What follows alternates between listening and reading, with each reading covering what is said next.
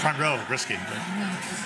Well, thank you so much for coming, and uh, good afternoon. It's my privilege to welcome you today to this year's William R. Stewart Memorial Lecture for Labor and Employment Law. Um, you know, one of my, the best things about my job is to be able to welcome the tremendous scholars that we're able to bring in for these endowed lectures. And today we're really lucky to have one of the nation's rising stars in the employment labor law area, uh, Professor Charlotte Garden. My job is to do just a quick introduction on the Stewart lecture, and then I'm going to turn it over uh, to uh, Professor Dau-Schmidt, who will do an introduction of the speaker. Um, this lecture was established in 2006, and it honors the late Bill Stewart, who was one of our most distinguished graduates. A veteran of the United States Army, he earned his JD here in 1959. 40 years later, he was inducted into the school's Academy of Law Alumni Fellows, which is the highest and most distinguished honor our school can bestow upon one of our graduates. Uh, for 34 years, he was a lawyer with the National Labor Relations Board and was the board's first African American chief counsel.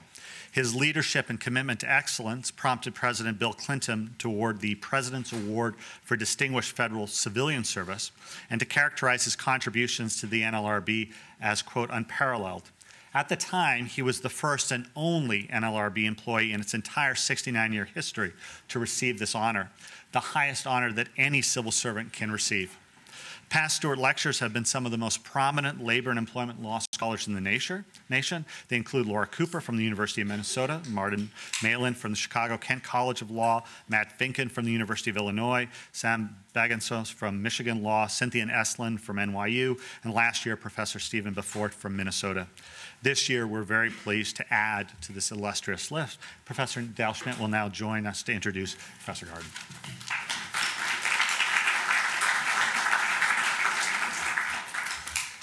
Thank you. I'm very pleased to uh, introduce uh, Professor Garden today. I think the first time we ever met was at a conference on labor and employment law at the University of Wisconsin, and it was about eight years ago when she was first uh, entering the academy, and, and uh, she was such, a, uh, such a, a, bright and well-read and just a wonderful person that you knew that Professor Garden uh, would be a, a fertile scholar. And that has proven true over the time, over time. Uh, she's an expert in labor uh, and work law. Uh, she looks primarily at the intersection of uh, work and labor law with constitutional law, as she will discuss today. Uh, she's published in a number of uh, important journals, including Emory, Boston University, George Washington Law Review, Fordham, William and Mary, the Harvard Civil Rights and Civil Liberties Law Review. she also regularly uh, writes opinion and analysis pieces for a variety of, of blogs and, and also for, for uh, um, papers. Her work has, has appeared on the SCOTUS blog and at Salon.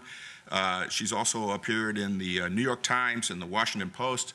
Uh, but in addition to that, she stays active in practice, writing a amici brief. Then she is often generous enough to include me in on these briefs, and she's written some very important ones in labor and employment law.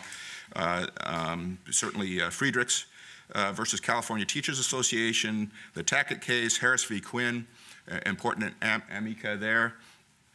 Uh, she, uh, she practiced for eight years before uh, going into the academy, including she clerked for Judge uh, Thomas Ambro in the Third Circuit, and she also uh, did a uh, three-year stint as an associate with the union, union side labor law firm of Bredhoff and Kaiser, which is one of the premier labor law firms in the country. And today, we're very pleased to have her talk to us. you've probably, if you, unless you've been living in a cave, you've heard about the recent Janus case before the Supreme Court and she is going to speak about uh, speech inequality after Janus versus AFSCME, and she's going to address uh, kind of the growing disconnect between how uh, corporations are allowed to use market power to gain First Amendment uh, access and the way that uh, unions have been treated uh, by the Supreme Court. So please join me in welcoming Professor Garden to give this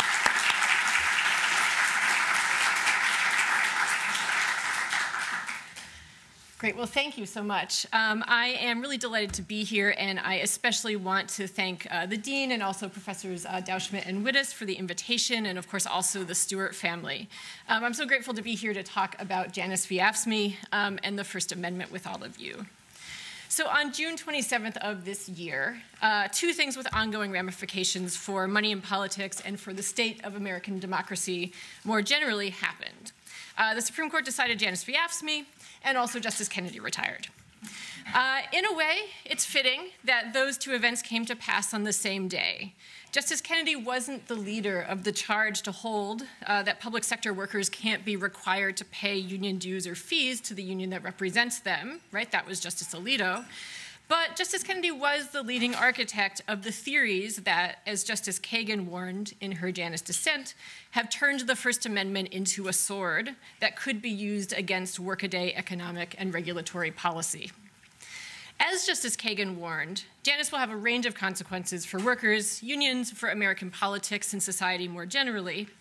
Uh, for one, Janus will make it more difficult for workers to make themselves heard in the political process, uh, exacerbating the state of affairs in which political influence is wielded by a relatively small group of wealthy spenders, and politicians are essentially non responsive to their low income constituents, um, as some researchers have found. Uh, we might think of this problem uh, of uh, the problem of unequal access to political spending and therefore political influence as a form of speech inequality.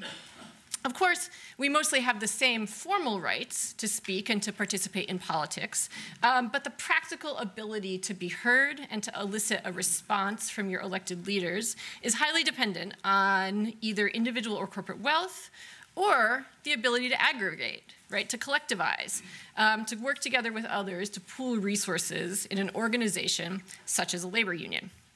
But again, those opportunities are not distributed equally, and part of the reason for that is the growing divergence between the way the court treats union participation in politics as compared to how it treats participation by wealthy individuals or by corporations.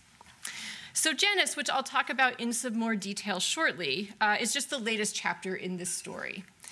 Uh, to see how we got to Janus, it helps to go back to the beginning. So I'm going to give a short history of the law of union dues. Um, I know that may not sound like the most riveting thing you've ever heard, but hopefully I'll convince you. Um, so, a short history of union dues and fees as that law developed before Janus, uh, and then talk about where the weaponized First Amendment is likely to go next. So the historian Laura Weinrib has described how the weaponization of the First Amendment that Justice Kagan referred to began shortly after the end of the Lochner era, which if you have not taken con law yet, you will know about soon. Uh, during that era, uh, or just after that era, business interests were confronted with the loss of the Due Process Clause as a useful deregulatory tool. In response, Weinrib shows, they began to focus on creative uses of the First Amendment instead. So, around the early 1940s, when Justice Black wrote that the First Amendment was essential to the poorly financed causes of little people, the more well heeled set was also starting to consider how to turn objections to the regulation of work, including the obligation to bargain collectively with labor unions, into free speech fights. That's also when the Hollywood director, Cecil B. DeMille, uh, helped coin the phrase right to work framing objections to paying for union representation in terms of the little guy, right, squaring off against big labor with its political agenda, and absenting the coercive power that employers wield and that unions oppose from that, from that equation altogether. The so called right to work question, um, I'm not going to do air quotes every time, just do it the first time. The right to work question soon made it to the Supreme Court in a 1956 case involving private sector railway workers uh, whose unions were newly authorized by Congress to negotiate union shop agreements uh, in which every worker was contractually obligated to join the union that represented them. That amendment responded to an earlier Supreme Court case that held that railway unions had to fairly represent every worker in a bargaining unit for whom they were ex the exclusive representative. That duty of fair representation was an entirely necessary corrective, which put an end to the practice of unions claiming the exclusive authority to represent African American workers in bargaining with their employers, but simultaneously excluding those workers from union membership or a say in how the union operated. But the combination of exclusive representation and that duty of fair representation also incidentally created a collective action problem. Once a union was elected, workers would be entitled to receive the same representation services whether or not they paid dues or fees. Um, and so accordingly, right, Congress responded, putting into the law a policy that those who enjoy the fruits and benefits of the unions should be required to make a fair contribution in support of those unions. In other words, if unions are going to be required to treat workers equally, it made sense to also allow them to negotiate for agreements under which represented workers would be obligated to join the union, right, or seek employment elsewhere.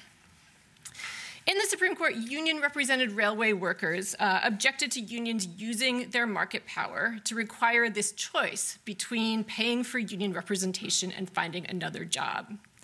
The court disagreed. Uh, it held that union security clauses were not, not unconstitutional on their face, but it also left the door open to future challenges in which plaintiffs could attempt to show that compulsory membership was being used to impair their freedom of expression. The court there was referring to the employee's own expression. Um, for example, uh, union policies that excluded from membership, right, and therefore from work, employees who publicly held political positions or belonged to political parties that were different from their union's positions or preferred parties. So the main type of claim the court was signaling that it was open to in the future was focused on unions that actually constrained represented employees through substantive membership conditions, rather than claims that the unions themselves were engaged in their own political advocacy using union dues. But that changes. So, five years later, Another case reaches the court. Again, it involves railway workers uh, who are arguing that they have a constitutional right not to pay union dues because their unions spend a portion of those dues on campaign on campaigning. This time, the court used the constitutional avoidance canon uh, to construe the Railway Labor Act to permit unions and employers to require workers to cover their share of costs of union representation, but not the union's other activities, right, including politics.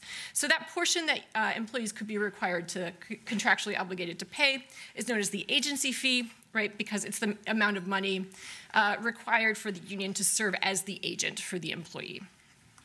So, if you're following along at this point, uh, we have one opinion finding that union security clauses don't violate the First Amendment on their face.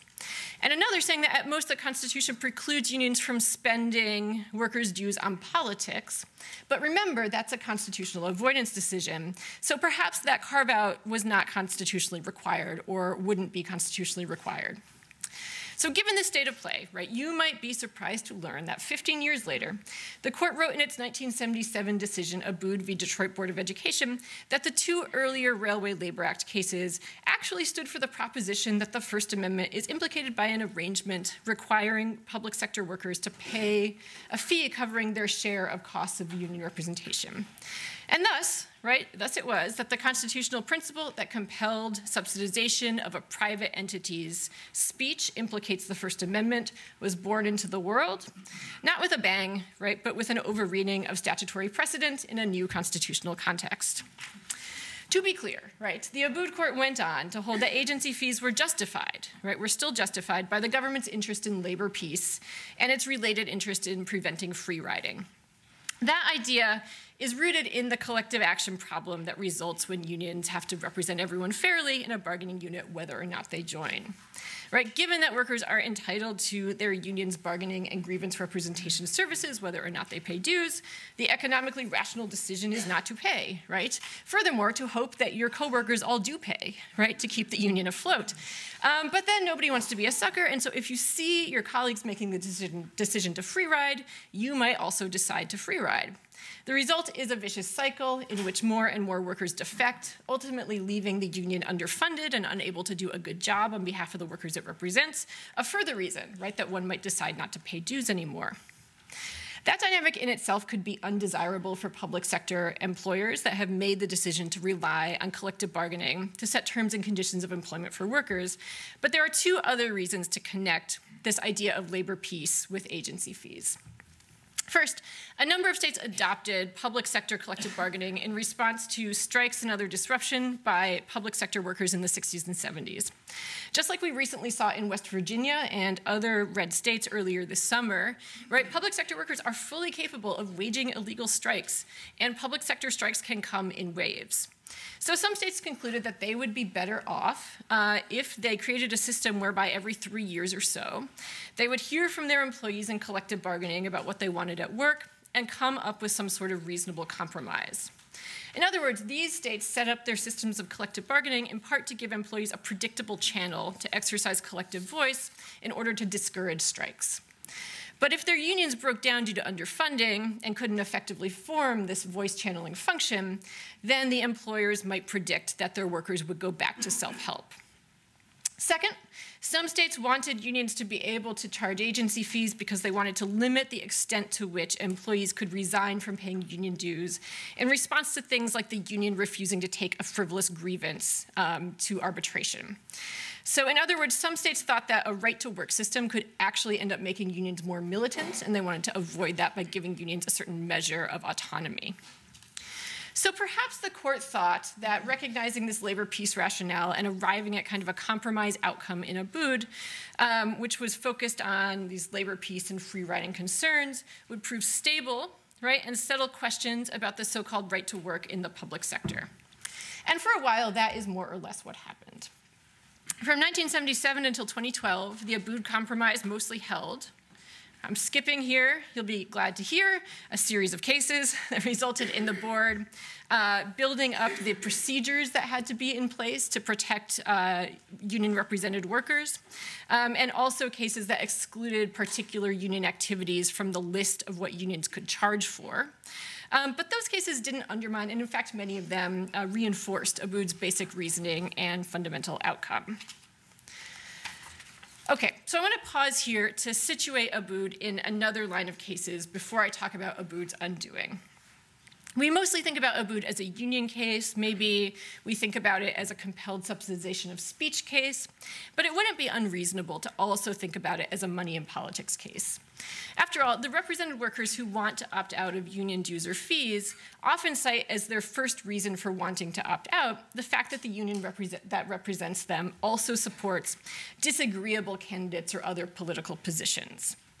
Furthermore, unions' participation in politics on behalf of mostly Democratic candidates helps explain why it is that agency fee cases have been and continue to be pursued so hotly by the well funded pillars of the conservative labor movement or sorry, conservative legal movement.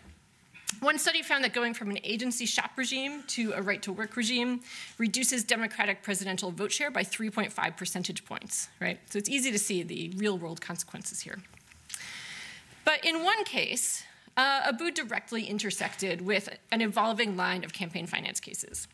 So in the 1990 case, Austin v. Michigan Chamber of Commerce, a divided court upheld a Michigan law that banned corporations from making independent political expenditures on behalf of candidates in state campaigns. More specifically, the court held that although the independent expenditure ban implicated corporate free speech rights, it was nonetheless justified because of the, quote, corrosive and distorting effects of immense aggregations of wealth that are accumulated with the help of the corporate form and that have little or no correlation to the public support for the corporation's political ideas. In other words, right, Michigan could restrict corporate independent expenditures because of the risk that rich corporations would use the benefit of the corporate form to drown out other political messages, right, to the detriment of voters who might be listening, right, to the detriment of the polity. Or, to use a flawed but common free speech metaphor, the state could take steps to protect competition in the marketplace of ideas uh, to increase the chances that appealing but undercapitalized ideas or candidates could gain market share. Secondarily, the Austin court considered the argument um, that sounds pretty similar to the one the workers were advancing in Austin and other, or in Abood and other union dues cases, um, that Michigan's law would prevent shareholders from having what they think of as their money uh, funneled towards disagreeable political advocacy. The other key feature of Michigan's law is that it didn't apply to unions. So unions could use their general treasury funds on independent political ads. The court observed, though, that it made sense for Michigan to treat unions differently than corporations um, because of Abood. So it was reasonable, the court thought, to let unions use these general, tre general treasury funds on political ads because represented workers could still receive union services even if they decided not to pay for the union's political advocacy. And therefore, unions didn't have the same ability to leverage their market position uh, to inflate their campaign spending, right, through their non politics related uh, work representation of workers. So, this isn't to say that the court thought that the legislature had to exclude unions from the independent expenditure ban. But the key is that legislatures could make their own decisions um, aimed at achieving a more level electoral playing field, including by limited, limiting the extent to which economic influence could be leveraged to yield political influence. And further, legislatures could account for different legal regimes that applied to corporations and unions in assessing the degree of leverage that each could bring to bear on their respective constituencies. Okay, so if what I just said about government authority to regulate political speech marketplaces doesn't really sound right to you, well, you have definitely been paying attention to the Roberts Court. Uh, the Roberts Court has taken a decidedly different approach to the relationship between money and speech. Uh, there are all sorts of deregulatory First Amendment cases that we could talk about as examples here. So, one recent study found that nearly half of First Amendment cases in the federal appellate courts now benefit businesses and trade groups. And another study found that the Roberts Court is much friendlier to business than either the Burger or Rehnquist courts. And if you want one fact that sums up the shift from the Burger or the Rehnquist courts to the Roberts Court, kind of in a nutshell, I invite you to consider that Abood, right, the case that unions unsuccessfully sought to defend in Janus, was a case that the unions lost. Right? The unions in Abood were defending the position that public sector workers could be required to pay full union dues, right? A position the court rejected. Similarly, the watershed campaign finance case, uh, Buckley v. Valeo, which came out uh, a year before Abood, was heartily criticized at the time by proponents of campaign finance reform, some of whom now find themselves in the position of having to defend the contribution and disclosure limits that Buckley left in place. But in particular, three First Amendment campaign finance cases, I think, really uh, illustrate and distill the extent to which the Roberts Court has retreated from Austin's understanding of the world. Of course, there's Citizens United, right, which formally overruled Austin to hold that corporations and unions can spend unlimited general treasury funds on independent political ads.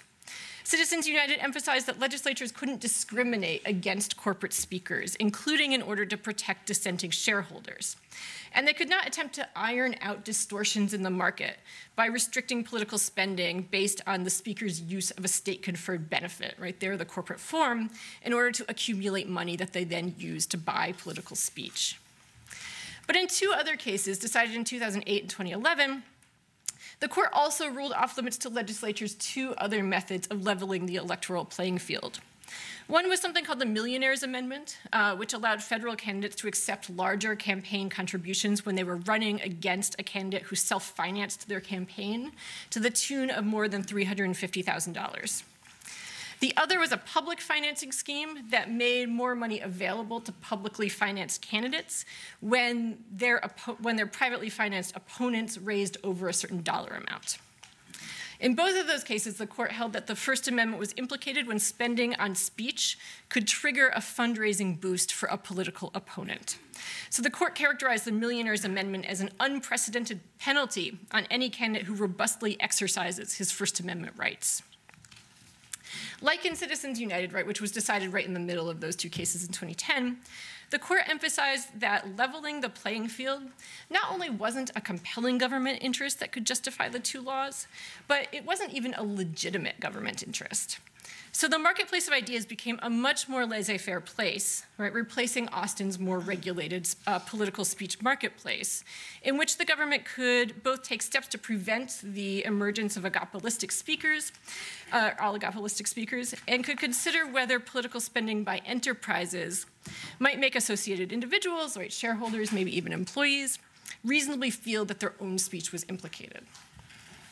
So looking at the shift from Austin to Citizens United and the other Roberts Court campaign finance cases might lead us to expect that the court would overrule Abood, but not by holding that it was unconstitutional to require employees to pay agency fees as a condition of employment.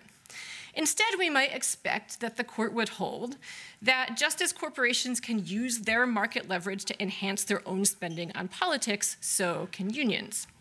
And what is unions' economic leverage? Well, it's the ability to arrive at a contract that includes a union security provision, right? Giving people a choice between leaving their jobs and paying dues.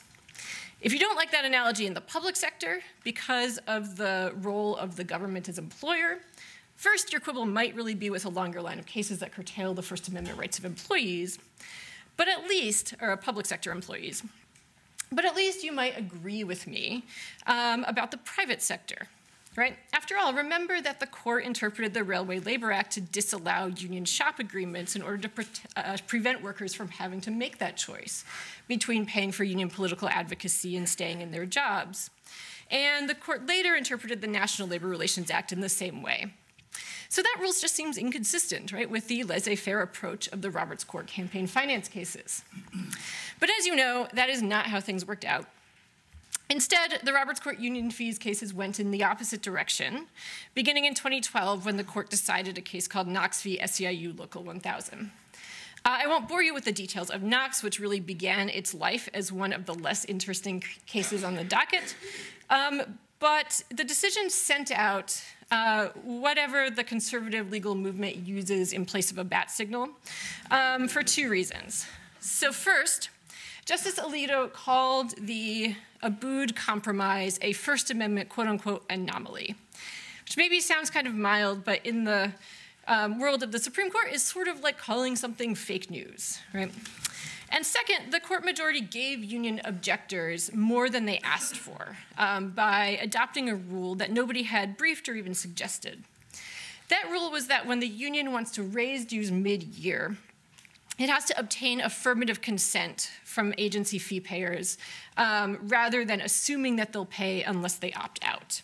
Right, so the court holds that, the that as a matter of constitutional law, right, we need an opt-out default rather than an opt-in default.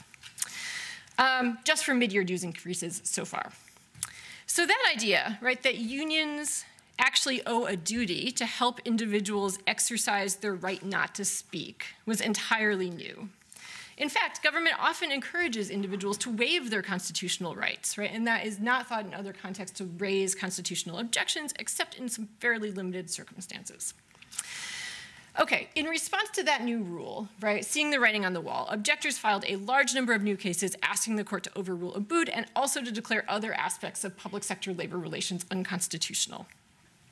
The first of those cases to reach the Supreme Court was Harris v. Quinn, which the court decided in 2014.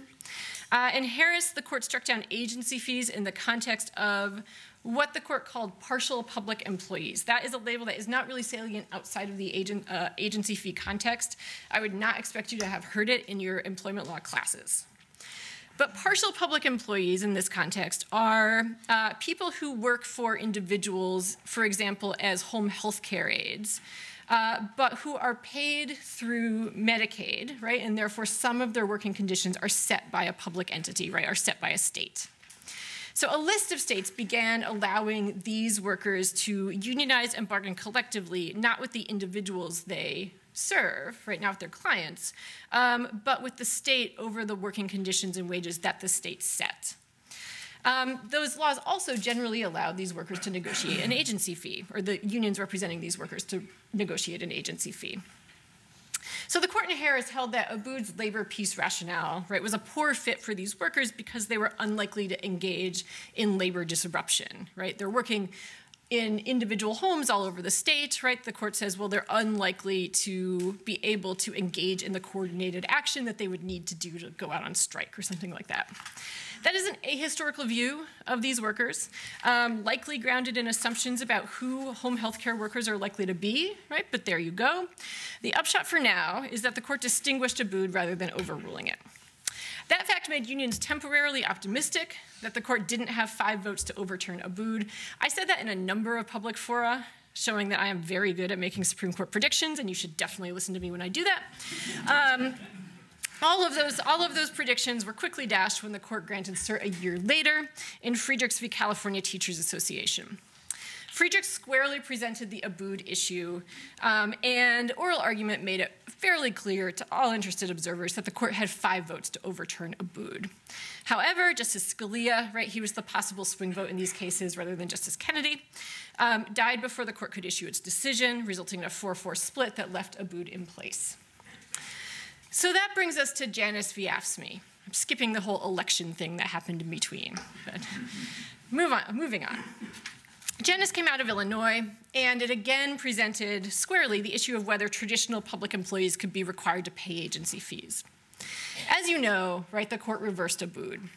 In addition, the court extended the holding from Knox, ruling that unions have to obtain affirmative consent before they can charge any money from non members. So, whereas Abood uh, relied on this interest in labor peace and stability in upholding agency fees, the Janus Court held that the fact that about half of states in the federal government did not allow public sector uh, unions to collect agency fees showed that labor peace could be obtained in other ways. Likewise, the court said that states couldn't rely on an interest in preventing free riding, um, more or less because the state could just force unions to represent non paying workers for free anyway. And the court rejected other reasons for retaining Abood as well, including that it was uh, consistent with the original understanding of the Constitution, um, that it was consistent with other cases about the scope of employees' free speech rights in the public sector, um, and stare decisis. One theme, though, that runs through Justice Alito's opinion in Janus, like his opinions in Knox and Harris, uh, is that public sector unions are essentially parasitic on the First Amendment rights of workers, rather than being speakers whose own rights to engage in political advocacy should also be considered. So, whereas cases, uh, in cases like Citizens United, the court was concerned that Congress burdened corporate rights by forcing corporations to create a political action committee in order to engage in independent political advocacy, the Janus Court was not terribly concerned about placing procedural burdens on unions that want to use member dues to do the same thing. Remember, right after Abood, the rule was that unions could spend member dues but not non member agency fees on politics, right? After Janus, Unions have a legal obligation to first use those member dues to fund representation of non members, right, to whom the union owes a duty of fair representation. Only once the union has done that can it use its remaining money, right, its remaining dues money, on politics and other non representational activities, right, like new organizing. Um, it's unimaginable, right, that the court would approve a rule requiring corporations to perform some sort of public duty as a prerequisite to engaging in politics as a condition of issuing a corporate charter. But that is essentially what the Janus Court held was required of unions. Also absent from Janus is attention to the First Amendment rights of public sector employees who have chosen uh, not just union representation, but to contribute to their union's political advocacy by becoming full dues paying members. If we accept the logic of the rule uh, against compelled subsidization of speech, right, which asks us to treat union dues and fees as being sort of tied to the workers who paid them, um, even after they've been transmitted to the union that intends to spend them on politics, then we can trace the obligation to subsidizing free riding workers from the union back to its members, right, who have their own political advocacy diminished in a right to work regime. Of course, those workers could also choose to free ride, right? And they could divert the money that they would otherwise spend on union dues to politics. Uh, but that means choosing between weakening their association with their union as their workplace representative um, and engaging in political advocacy themselves. So you might be thinking now, that the solution to all this is just to get rid of the duty of fair representation and or the exclusive representation system. After all, right, those are the parts of the labor relations regime that make the logic of the agency fee compelling. Uh, the Janus majority had a couple of things to say about this, in fact. First, it suggested that states could not simply eliminate the duty of fair representation, at least not for unions that are exclusive representatives. We are likely to see how far the court intends to take that statement um, because New York State reacted to Janus by altering the scope of the duty of fair representation to excuse unions from representing non members in certain disciplinary proceedings.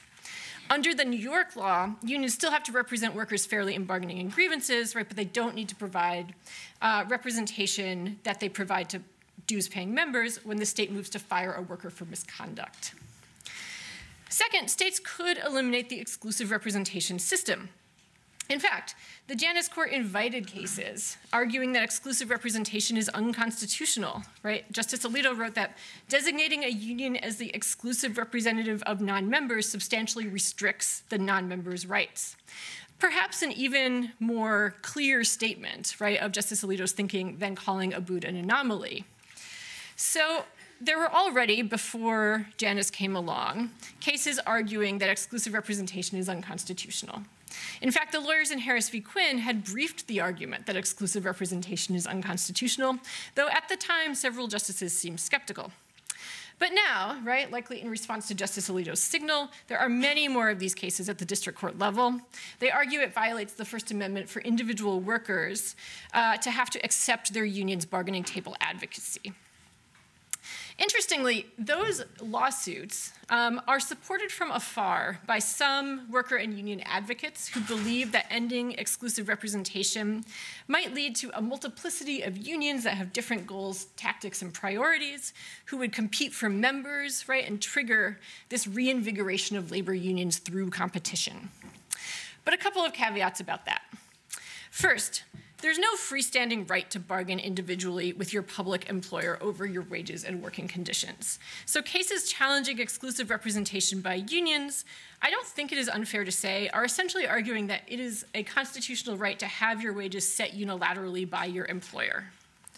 Second, as far as I know, there is no claim that public employers are constitutionally barred from hiring a consultant like Deloitte or McKinsey in order to decide what workers' wages and working conditions ought to be. So, the constitutional objection in these exclusive representation cases is essentially that giving workers a voice in choosing SEIU or AFSCME to be across the table from their employer, rather than a management consultant, right, uh, who is chosen by the employer alone. Third, as a practical matter, it's not clear that the alternative to a public employer bargaining with an exclusive representative is a public employer bargaining with a variety of members only unions. Right? States are free to decide that they don't want uh, to engage in public sector collective bargaining at all. Many states have done that. Um, public sector collective bargaining is a misdemeanor in a couple of states. Um, states can also sharply curtail the scope of collective bargaining, as we saw Wisconsin do back in 2011. And there's reason to believe that states might do this, right, rather than redrafting their public sector labor law to allow members only bargaining in the face of a decision holding that the exclusive representation system is unconstitutional. Historically, a couple of states, including California, attempted members only bargaining, but they quickly ended those experiments. The only current exception is Tennessee, which allows multiple employee organizations to represent teachers. But key to understanding Tennessee's system is that it is not collective bargaining at all. It is, in fact, something that Tennessee calls collaborative conferencing, uh, which only allows organizations to give input to the governmental employer, which ultimately makes decisions.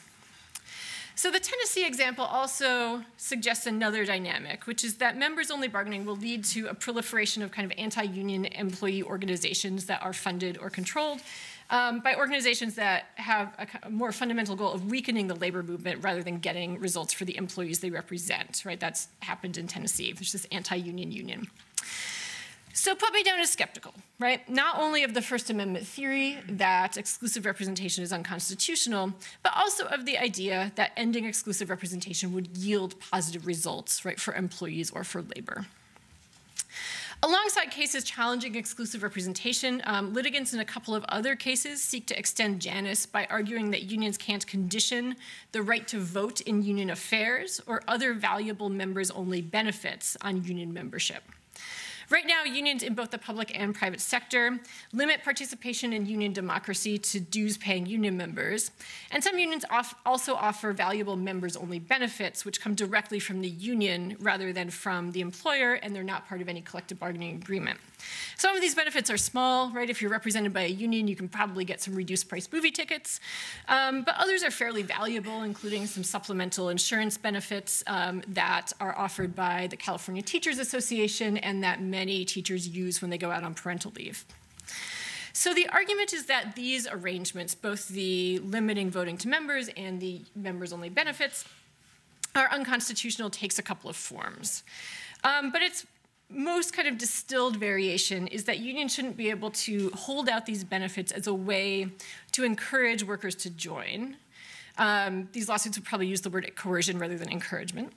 Uh, and that any worker who's represented by a union should then have a say in that union's leadership. So for this argument to succeed, right, courts would first have to find that the First Amendment is triggered at all, right, that there is state action. Um, when you are dealing with a relationship between a union, which is a private entity, and individual workers, right, surely a stretch.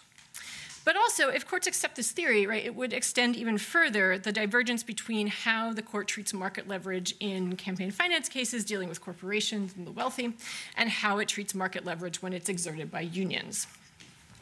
Finally, other cases challenge other state responses that are designated to blunt, uh, that are designed to blunt the impact of Janus. Uh, union objectors are challenging on First Amendment grounds laws that give uh, elected unions an opportunity to meet with new hires, for example. So we'll see how that plays out. So these and similar First Amendment theories uh, threaten the continued viability of public sector collective bargaining as we know it now. Um, and if accepted, would also uh, endanger labor law reform in the private sector, right? So as you may be following, labor law reform is very much a matter of public discussion at the moment. Um, I don't think it's an exaggeration to say that there's an existing First Amendment theory, albeit not one that's already been accepted, uh, that could be invoked to challenge every significant proposal for private sector labor law reform that is currently under consideration. Um, and if accepted, these First Amendment theories could also imperil even existing limits on, for example, what private sector employers can say in opposition to union drives. They could challenge exclusive representation in the public sector, as I said. They could challenge uh, recent state and local innovations concerning so called alt labor groups. To be sure, it is conceivable that uh, workers and unions could put these same theories to work themselves in what I call silver lining litigation. For example, in the recent decision in the case Nifla v. Becerra, the court signaled that it was probably unconstitutional for courts to, uh, sorry, for states to require crisis pregnancy centers to post truthful information about their own services and or the availability of low-cost abortions elsewhere. One might observe that this rule could also be applied to notices that private sector unions are currently required to send to workers, informing them of their right to become agency fee payers. Likewise, some unions are attempting to, uh, to leverage the logic of Janus into other contexts. For example, one local union is arguing that their members can't be required to pay taxes that local governments use to hire lobbyists. Others argue that Janus, or at least Abood, should apply in the context of uh, public sector pension benefits, many of which are managed by private firms that engage in potentially objectionable political speech. And for good measure, some Oregon lawyers are arguing, for better or worse, that under Janus they should be entitled to stop paying their bar dues. Okay, let me just say that I am skeptical about these efforts for a few reasons, including that the Supreme Court has demonstrated a willingness to cabin its labor First Amendment cases. For the silver lining strategy to work, I think we need a different judiciary. I don't think I need to convince anyone in this audience at this on this particular day that judicial appointments matter, um, but what the heck, I'll repeat it. If we have a different judiciary, though, I think workers and unions should try a different and I think more fundamentally optimistic strategy. Uh, they should seek to resurrect a vision of the First Amendment that is more like the one the court uh, adopted in Austin, right? One that is not blind to the relationship between economic market power and the metaphorical marketplace of ideas. So I was going to try to end on an optimistic note, and I'm not really sure that was it, but. It also seems like I've been talking forever, so I, am going to stop here and uh, look forward to hearing your questions.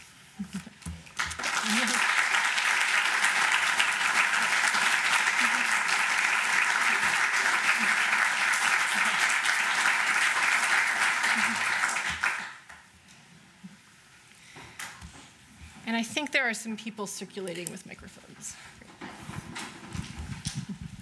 Uh, when you were talking about Tennessee, and the non-union unions. Hmm. Um, could you talk about how those are being funded a little bit, if you if you know that right now? Uh, I am not entirely sure. I mean, so there are two examples of these non-union unions. One is in the Tennessee example, um, and there's a great article by um, a journalist named Chris Brooks that you might uh, try to that you might Google. He might have some more details about funding. Uh, the other example is in the private sector. Um, so you might remember a number of years ago, the UAW was running a union organizing campaign at the Volkswagen plant in Chattanooga, Tennessee. So we're just in Tennessee and all over the place. Um, the union lost, but the employer was still interested in hearing from employees and so created this system of you know something that seems sort of similar to this collaborative conferencing model. And there too, right, there's the UAW representing you know, something like 45% of employees, but also something, but also another kind of anti-union organization that I, I, think probably has uh, some of the same funders as some of these lawsuits we were talking about, but I don't, I'm not quite sure.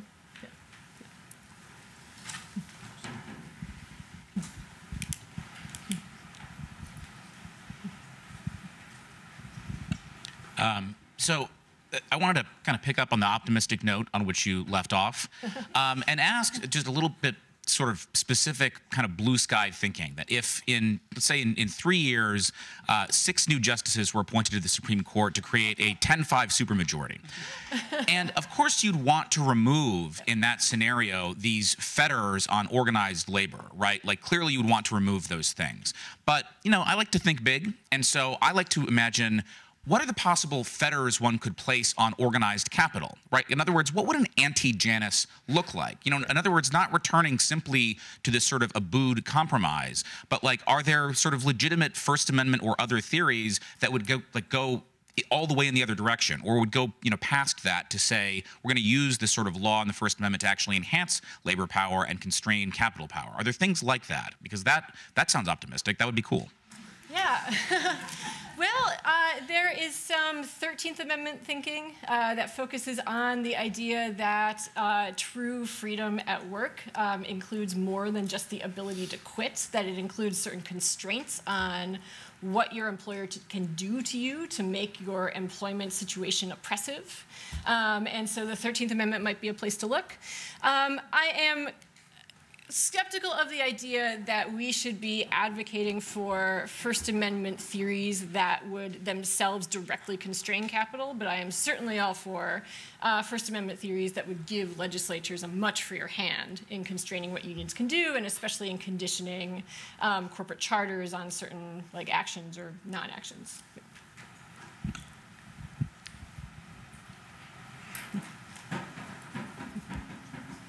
Thanks for your talk.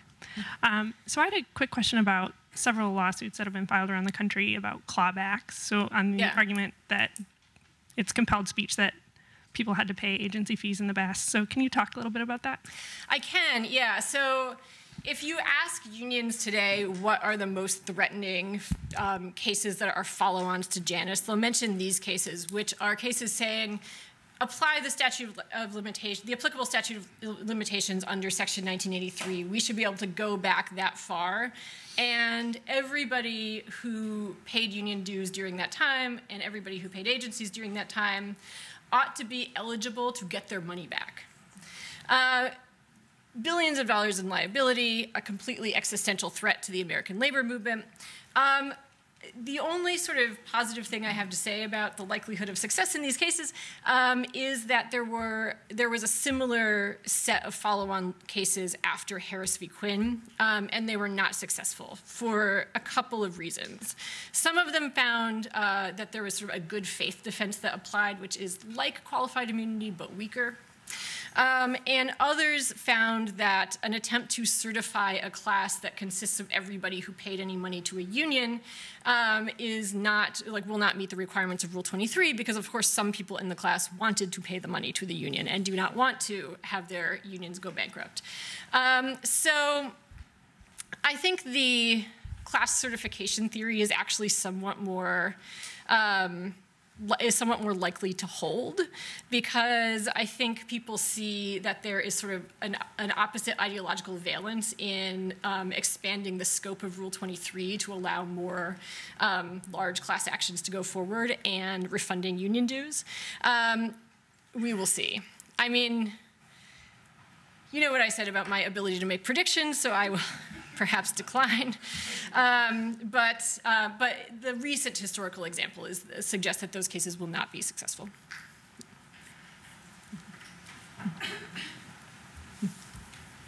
Uh, thanks for coming. So I have a, some more questions about the First Amendment. When I read through Kagan's dissent, she says this is speech about collective bargaining, speech involving terms and conditions. Is this really a First Amendment issue at all? When I read through the Janus decision, the majority never really explains why this is speech covered by the First Amendment. So is this really a First Amendment issue as far as these fees go? And if so, are there are there decisions in this line of cases that really explain why this is a speech issue? No, is the is the answer um, to all of it. Um, so whether compelled subsidization of speech implicates the First Amendment gets a complete kind of drive-by treatment in Abood, and Abood is the foundational case in other cases that um, apply the same rule in limited numbers of other contexts. Um, so there uh, is some great work by, I think, Robert Post, I think Fred Schauer, showing that we engage in compelled subsidization of speech all the time, right? I mean, for example, um, when you lose a lawsuit and you are required to pay the other side's legal fees, um, you are being required to pay for a whole bunch of speech with which you vehemently disagree. Um, and yet, nobody thinks that the First Amendment applies.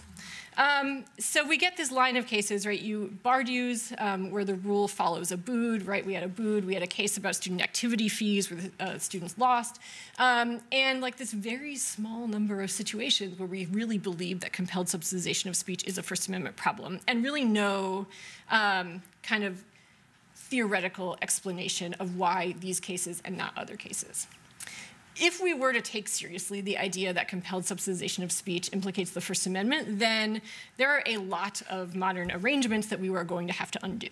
Um, so the court in the majority in Janus sort of blows by that by saying, well, the part of Abood that was right was the part that said that compelled subsidization of speech implicates the First Amendment. Um, and that goes back to these Railway Labor Act cases where, again, the court just says it. Uh, but or actually the court doesn't say it, right? the court just overreads that. Um, and, the, and by the way, those cases got wrong everything else um, because the Railway Labor Act cases were private sector cases, and even though they found that there was state action, um, they applied some sort of like lesser version of the First Amendment because we were dealing with a private sector employer. So the reasoning, like the theoretical basis for this entire line of cases is weak at best. Um, I actually thought that it would have been pretty promising in terms of a doctrinal consistency um, standpoint to situate the union dues cases alongside the other public employee speech cases. Um, at which point you could you would look at whether paying you know 400 you know buying 400 dollars worth of union bargaining um, really qualifies as a matter of public concern which would trigger some which would trigger first amendment rights for the public employees more or less um, in other cases, right, where public employees go in and ask their employers for small things, the court says that is not a matter of public concern. Nobody really cares whether the fire chief, you know, gets like two weeks off or not. Um, but in Janus, the court says, well, you don't look at $400 worth of bargaining. You look at the entire scope of bargaining. So nobody cares about the fire chief and his vacation, but people care a lot about whether the entire Medicaid budget will increase or not. Um, and therefore, we kind of impute to the objecting employees $400 the entire scope of that speech, and presumably the fact that the employer has agreed to it or not. So I don't know if you can make sense of that. I really cannot, um, but that's sort of where we are.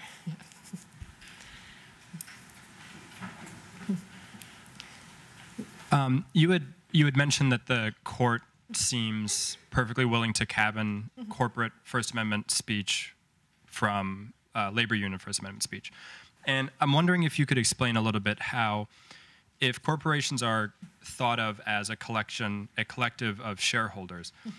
but if the court in Citizens United said we're not going to recognize the dissenting shareholders' uh, unwillingness to support the corporation's speech how is the court able to, to distinguish that from a labor union, which is a collective of workers? How, where is, how are they able to feel consistent about, about those two? So I think if you ask the court, it would say state action, right? I think the, you know, and I'm not saying I necessarily find this a tremendously convincing distinction, but the court would say the relationship between the employer, uh, between a corporation and its shareholders is entirely a private one. Let's ignore how corporate law shapes that relationship. But the relationship between, uh, the relationship that compels employees to pay agency fees is one that is either in law, right, is either in legislation or is in a contract to which a public employer is a party. Um, and that triggers the First Amendment in a way that um, the, the corporate shareholder context wouldn't trigger.